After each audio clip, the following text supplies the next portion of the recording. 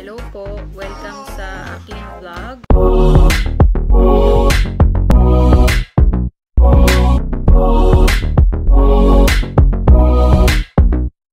Um, I hope uh, may natutunan kayo dun sa past na vlog ko. Um, today we're going to discuss about gears. Gaano po ba ka-importante yung gears? Kasi yung iba, magaling na daw siyang mag-drive, silang mag-drive. So, ah, hindi ko na kailangan yan. Hindi ko na kailangan ng gears kasi magaling ako mag-drive.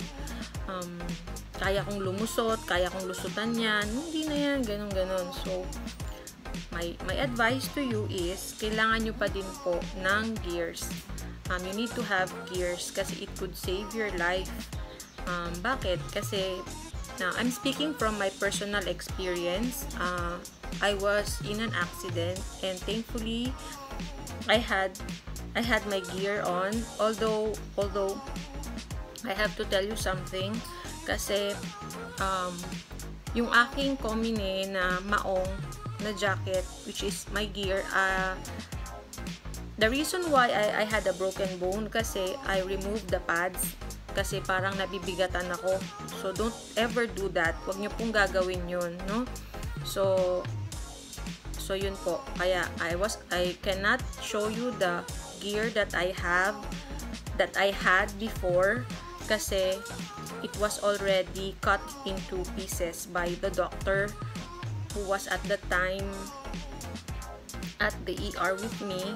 Um, kasi I was in pain and uh, hindi nila I, hindi nila matanggal yung ano because they need to have have my x-ray taken and so on and so forth so anyway back tayo dun sa gears importante po talaga siya. I, I could not stress it enough for you guys kasi um, as much as possible, ayokong may may mamatay or uh, ma-amputate um, just because of ignorance. I don't know, is it ignorance or I don't know, yung parang magaling mag-drive, they don't need helmet, they don't need gears, yung parang, ah, ganon. You, you should not take these things for granted kasi it could save your life.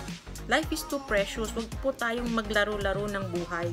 Kaya po ako naandito para makatulong po sa inyo like kahit man lang sa pagsasabi ng presyo at um, kung ano ba yung feel sa loob para para may idea kayo kung ano yung bibilhin nyo or ano ba yung feel nito sa loob, anong size ba to, kasya ba to sa akin, yung mga ganon. Yun lang po.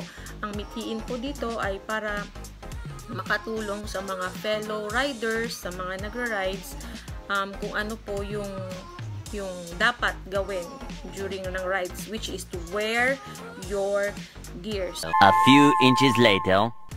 Ngayon ipapakita ko po sa inyo yung um, gears na nagamit ko na. Okay? Um, yung knee pads, I can only show you yung yung natira which I still use up to now. I still use this. This is a knee pad by Comine. Um, matagal ko na siyang ginagamit actually you guys. Super comfy durable siya. Ang presyo niya ay 1,500 actually 1,800 natawaran ko siya ng 1,500 okay parang along Cavite area yung shop. This is my very first gear knee pads plus yung shin guards, ganon. This is okay. Before when I got my bike, um, lagi akong nakaganito when, even when I'm in uniform. So, just to be safe. So, this is for 1,500. Wala po itong size. Wala itong size. Um, free size siya. Okay? Yun. May iba na mas expensive. Yung may slider. You can also you can also um, uh, choose that. Buy that. So, sinabi ko na po yung price. 1 1.5 Okay? Um, yung Comine na knee pads. Meron, meron po tayong knee, knee pads na built-in dun sa jeans. Comine din pero medyo mahal po siya ng unti kasi naka, nasa loob na po siya ng pants. Okay? Um, so, there you have it. Um, before kasi, I used to wear just yung boots lang, yung regular high cut na boots. Like, hindi siya pang ride, hindi siya pang track. Yung normal lang siya na boot. Okay? I used to wear my rubber shoes, sneakers, um, with socks, yun, with this, um, at saka yung, yung, yung nagupit na na gear ko. Okay? So, we move on to the next um, gear. 12 seconds later. Um, again, uh, magandang, uh, masayang pagbabalik. Um, ito po yung pangalawang gear na meron ako. After my Comine, yung nagupit ng doctor na maong, I bought this for for um, 4,500 pesos. Uh, online. Online siya. So, Dainis, Dainis siya, XL. Um, payo ko lang, if you're a large, like my build, um, I don't think I don't think swak siya sa'yo. I think, I think, maluwag siya sa'yo. Like, a balloon, luwag. Sobrang luwag siya sa'yo. Okay?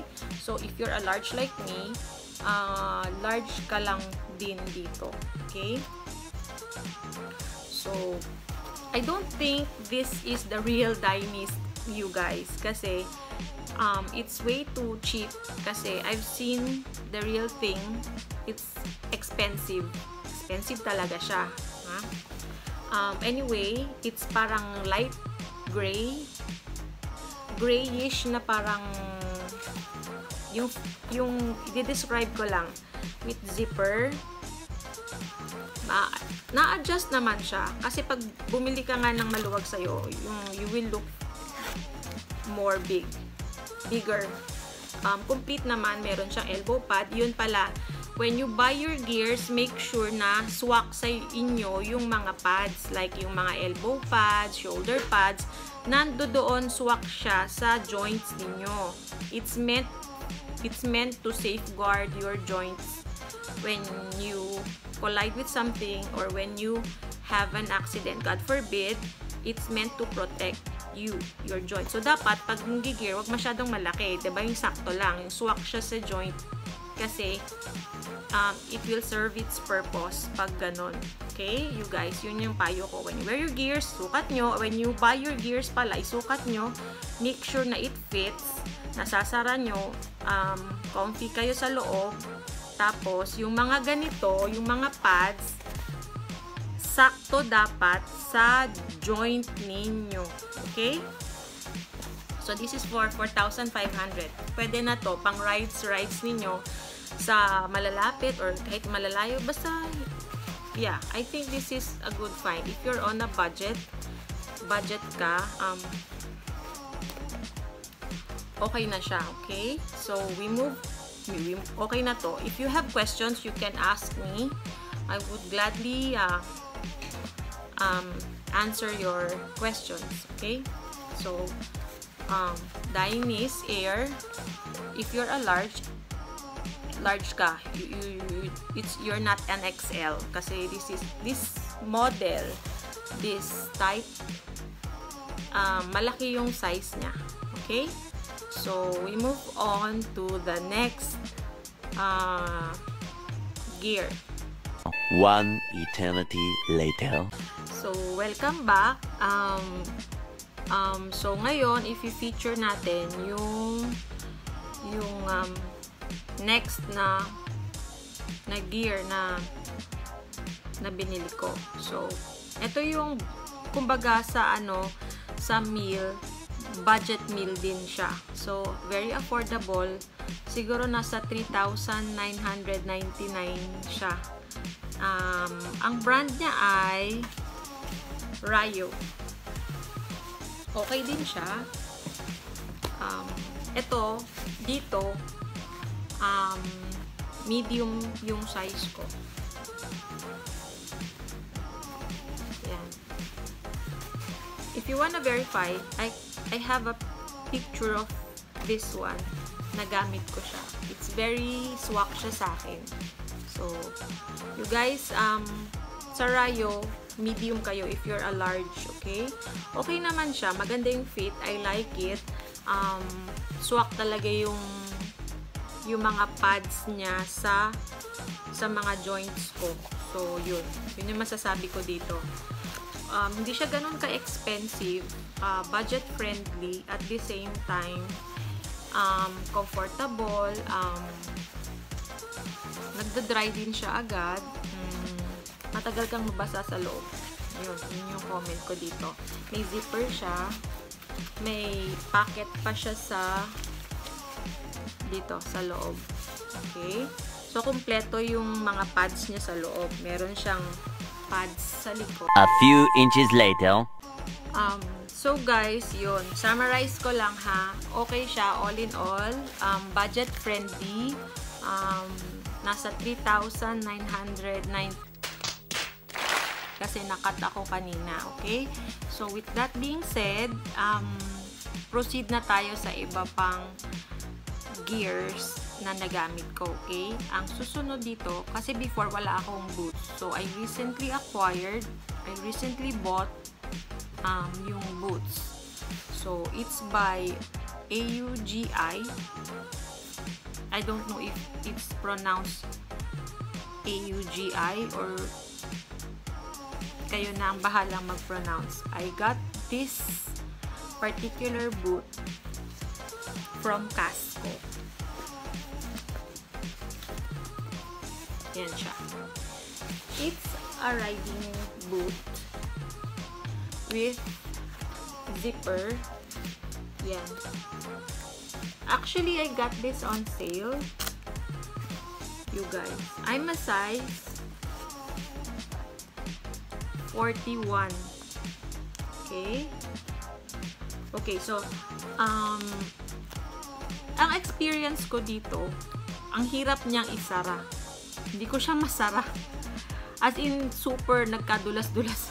like, ang hirap talaga niyang isara. Lalo na pag nasa loob yung paa mo. Ang hirap niyang isara. So, swak naman siya sa akin. Fits perfectly. Fits fine. Wala akong masabi. I'm comfy. Okay?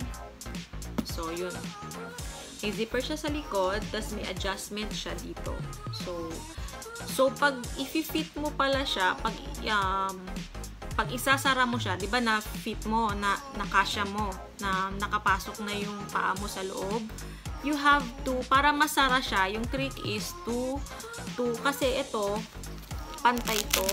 For those of sorry, For those of you who, who don't know yet paano, kasi usually ganito siya, yan, nakaganyan. Wala akong idea before.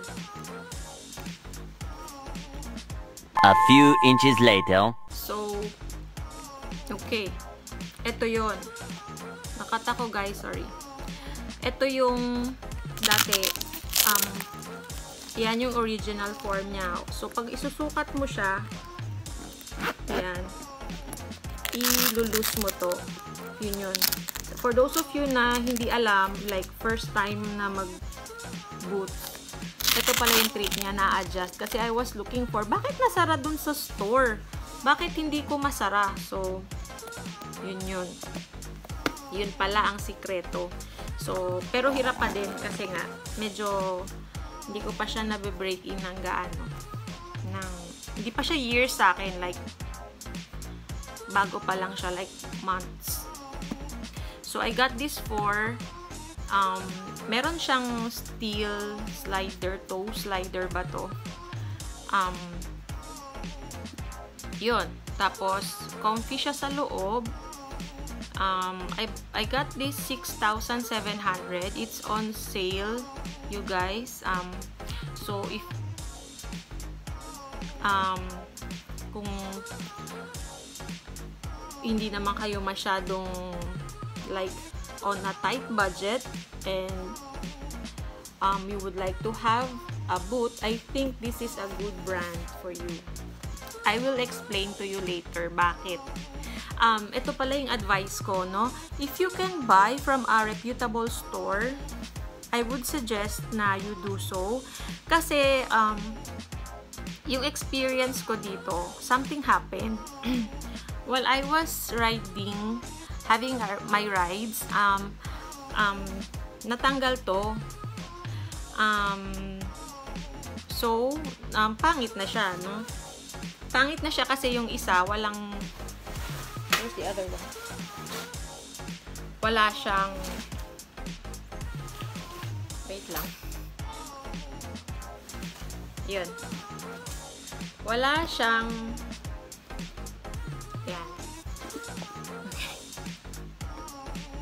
Yan. Wala na siyang bakal. So,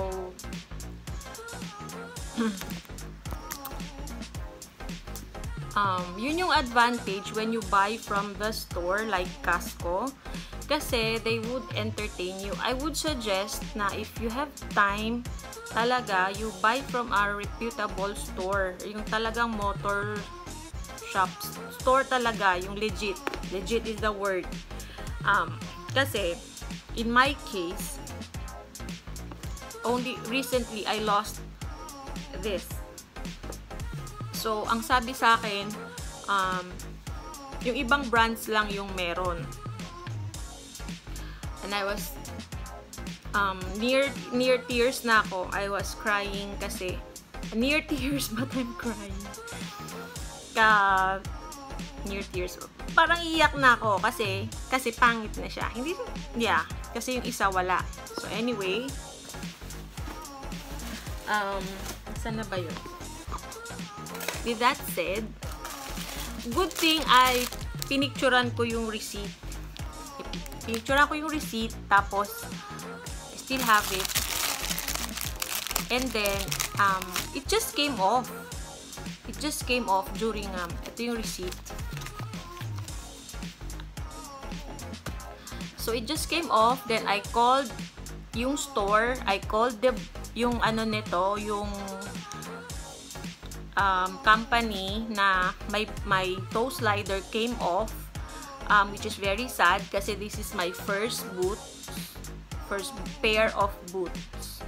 Okay, my first pair. So, um, parang nadismaya ako. I thought na ano siya, durable and it came off during uh, during my uh, ride. So, anyway, um, then they talked to Casco, ta Casco talked to them, and naghanap sila, and luck, thankfully, and luckily, I was able to procure, uh, find ma uh, replacement. Yeah, for this particular type. So, yung mga may ganito dyan na parang wala ng pag-asa, if you got your boot from a legit store, um, all you need to do is to keep the receipt and to contact yung service provider. contact yung yung store mismo kasi AUG told me, AUGI told me to contact yung store where where I got my boot. So, I called up Casco from from the internet. I called them, I searched, I called and then sinabi ko yung nangyari and then they were able to um to give me a spare like you guys. I don't think this happens often but at least para dun sa mga sa mga tao na sa mga tips na or riders na you got yours from a legit store there's still hope all you need to do is to report the matter right away kasi so that so that ma mabigyan ng ng mapagtunan ng pansin yung problem like yung missing I don't think if this comes off easily kasi this is my first boot but people have been telling me they have been telling me na ay mami hindi dapat natatanggal yan ng basta-basta okay? So there you have it. Um, so I'm, I'm happy and I'm grateful kasi if they're not doing it for a lot of people um, maybe I was just so lucky and blessed so thankful for the little things Okay? So, anyway, natakel na natin yon okay? So, ito yung maganda sa company na to. And ito yung maganda if you buy your gears from a reputable store like Casco. Kasi I've tried it. Um, di ba nawala yung ganito ko, inasikaso nila ko, ganun. Thank, thank you, shout out to Casco and AUGI for uh, good service, um, definitely I would buy my second boot from you guys kasi um, shout out sa inyo Casco and AUGI. Um, I'm very satisfied with your customer service. Really. Um, wala akong masabi. Um, inasikaso nyo ako. So, for those people na nagbabalak bumili ng boots, I would suggest itong brand na to. So, actually wala akong pinopromote eh. Kasi based lang to sa experience ko. Um, based lang to dun sa mga naranasan ko. Okay? They took care of everything. So, all I need to do was to buy the thing, the toe slider from yung store na may available pa na ganito. Sorry. So, with that being said, um, punta na tayo sa I'll talk to you in a minute. Okay? Okay. One eternity later. So, welcome back um, sa inyo. Um, uh, ito yung last part na nung gears. So, excuse me. Uh, ito yung yung tinatawag nating full suit. If you have money to to sa to spare, guys, um, I would suggest na mag-suit na lang kayo para mas safe. Kasi, I don't know if you've seen yung accident sa Marilake last, nito lang, like 3 days ago or 2 days ago, yung nagbanggaan yung dalawang motor. Nakatayo agad yung rider. Kasi he was wearing a full suit. You can have this made, made to order specifically for you. You can choose colors, ganon, of your liking. Or you can buy sa SEC store like this one an SPRS suit um, which you need to fit pala by the way. You need to go there kasi when I was trying to buy to acquire to have my suit um in, I was parang adamant, parang gusto ko kasi isukat na lang nila kasi hindi ako makapunta sa store. Um, kabilin-bilinan sa akin ng mga staff doon na, ma'am, you have to try it out. Pero hindi ang tigas ng ulo ko eh. I sent one of my um, yung kagrupo ko there I, yung kasing size, not kasing size, like closer to my I don't know. Kasi pagdating doon pala, kailangan pala talaga siyang isukat or else hindi magkasya. Kung sinukat yun nung kagrupo ko, he was too, um, a bit smaller than me, a bit payat than me. So, probably hindi nagkasya sa akin yung suit kasi you have to be zipped up. Like, if you know how to wear this, then you can zip yourself up. Yun na. Kasi it's very hard eh, pag yung, ay nga pala, when you, pag magsusukat pala kayo ng suit, you need to have this. It's an inner suit. I don't know what this is called. Parang, okay, naging joke pala siya sa group kanina. When I was asking, kasi I forgot what's this called. It, long sleeve siya. It's worn inside this. Or you can also wear this sa loob inside your before mag-gear. Okay? So, this comes with uh, parang leggings din siya. It's black. You can, I think, available siya sa Shopee, mga. But I got mine from SEC. I think sa Shopee, 600 something eh. But sa SEC store, sa San Juan, it's 900 something. Kasi 1,000 plus to. It's on sale, you guys. Uh, I got there um, during their sale. So, I was able to get this at a very low price. So, instead na 1,2, 1,3 ata ay naging 900 pesos ito. Okay? May inner suit siya before you wear this. Hindi ka din nila papayagan mag-try ng suit kung wala kang inner suit. So, I would suggest you bring extra money for the suit. So, tanong, Ma'am, ano bang size? For my build, Which is, by the way, disclaimer ha, I'm not promoting anything. Um, at saka, you really need to make sukat sa store or else hindi siya magkakasya. Like, man to man. I'm, you can, I can only suggest as much kasi I'm a size 52 dito. Ito yon I saved the etiqueta for you and for future references. Ayan, it, ito siya. Yan. It comes with a lot of a lot of labels. Um, I'm a size 52.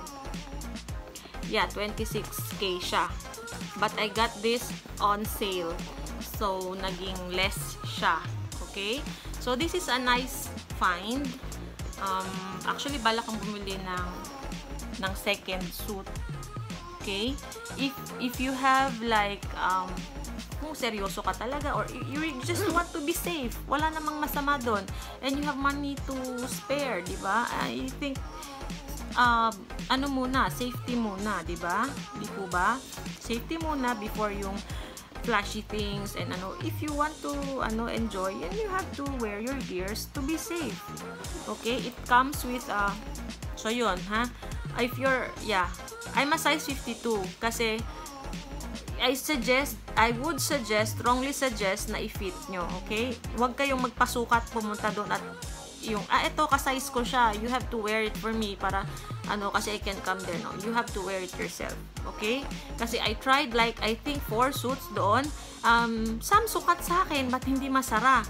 From my waist, my hips, ganon. Iba kasi, iba-ibang suit, may iba-iba pala siya ng, kahit parehas ng size, some are bigger than you, some are smaller kasi yung the way they are tailored, the way they are sewn, yun, yung ibang part ng suit, hindi siya fit sa body mo. So, this one fit, fits perfectly.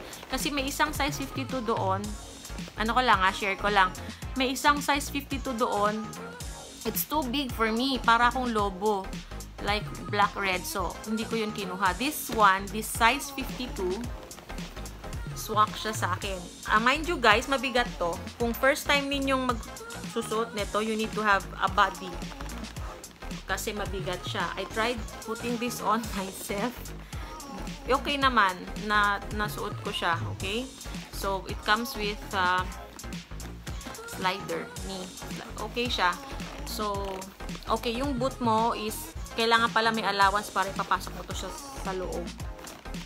Okay? Um, with that said, um, I hope you learned something again from me.